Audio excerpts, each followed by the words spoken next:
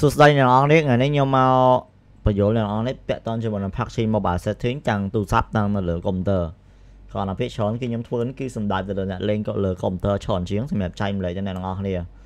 អឺយើងចាប់ដើមជាមួយនឹងខ្ញុំការបញ្យល់ setting របស់ខ្ញុំគឺនៅខាងពី basic ហ្នឹងទៅ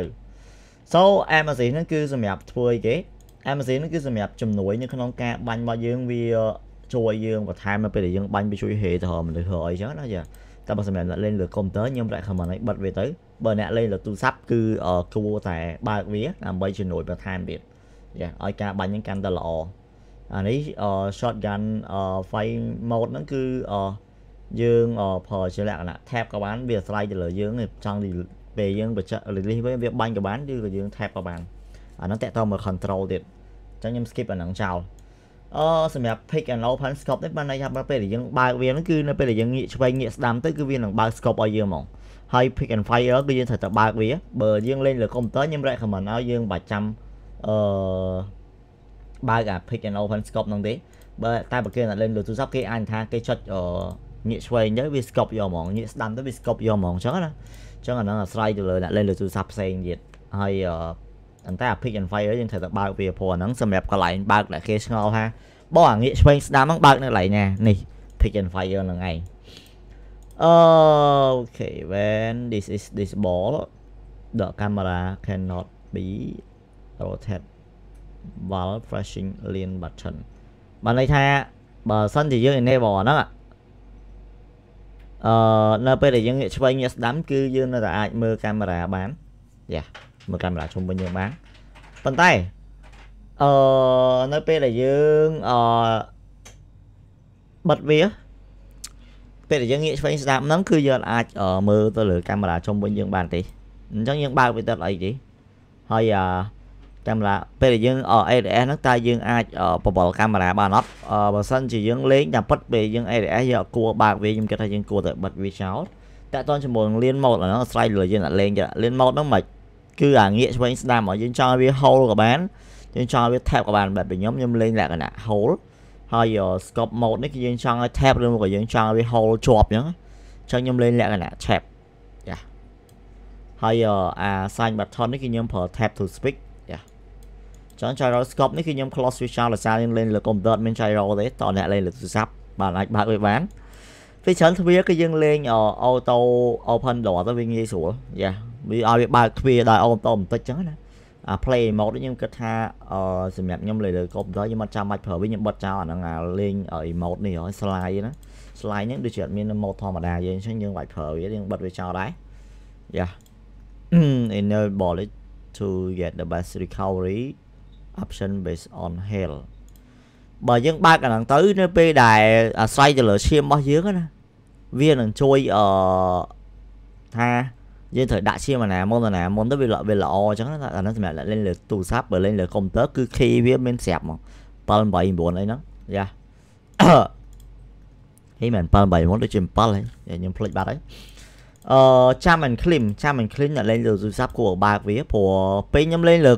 កុំព្យូទ័រក៏វាមានអា key ហ្នឹងស្រាប់មួយទៀតដែរកាលណាបើសិនជាយើងបើកវាអញ្ចឹងយើងបើកចាំ and clean មក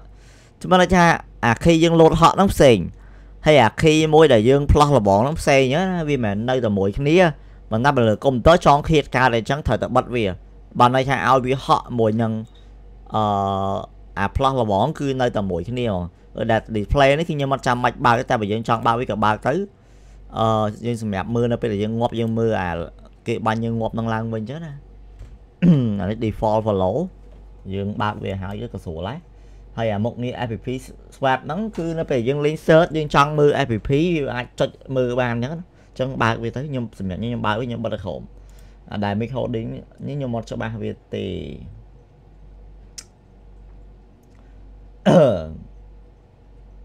ប៉ុន្តែសម្រាប់អឺអានេះលើកាមេរ៉ាប្រយោកាមេរ៉ាប្រយោនោះមិនធម្មតាវាអាចនឹង90ចឹង អញ្ចឹងកាលណាយើងទាញវាកាន់តែបានដល់103បើណាយើងមើលបានកាន់តែឆ្ងាយជាងមុនពីដៃរបស់យើងទៅអញ្ចឹងយ៉ាខ្ញុំពីច្រើនចូលចិត្តលេងយ៉ាង103ហ្មងត្រឡប់ខ្ញុំអានេះញ៉ាំឲ្យចង់ឲ្យអ្នកផ្សេងគាត់មើលឃើញ result របស់យើងអត់បិទចោលក៏បានហើយ show and fit យើង show ឲ្យពួកគាត់មើលទៅពួកអាយរបស់យើងហើយយើងកុំឲ្យគេ spectate យើងបិទវាទៅបើយើងចង់ឲ្យគេ spectate យើង view យើងបើកវាទៅយ៉ាមួយ TR អាក្រោមនេះគឺយើងបិទវាទៅ ខ្ញុំបិទវាចោលអស់ព្រោះចាប់ពីលើហ្នឹងមកដល់ក្រោមគឺអត់មានប្រយោជន៍អីខ្ញុំបិទចោលអស់វាអត់មានប្រយោជន៍ graphic ខ្ញុំលេងនៅលើ game lock គឺខ្ញុំលេងជាលក្ខណៈ graphic smooth ជាមួយនឹងការ unlock ដល់90 frame ប៉ុន្តែ game ហ្នឹងវាអត់បាន fully 90 frame មើលទៅគ្រាន់60ដែរទេគ្រាន់តែវាបាន smooth វាអាច show បានឡើងដល់90ពិតមែនអញ្ចឹងតែ game ហ្នឹងគឺ frame វាដល់ប៉ុណ្្នឹងហើយយើងមើល play ជាក់ស្ដែងគ្រាន់ថាយើងចង់ឲ្យលេងលក្ខណៈ smooth គឺយើងប្រើបែប smooth ហើយយើងលេង90ចេះ ហើយខ្ញុំបើកអា anti aliasing យ៉ាព្រោះយើងលេងលើកុំព្យូទ័របើកអាហ្នឹងគាត់អីដែរទូរស័ព្ទគេអត់ឲ្យបើកអាហ្នឹងព្រោះវាស៊ីថ្មវាយ៉ាងនេះ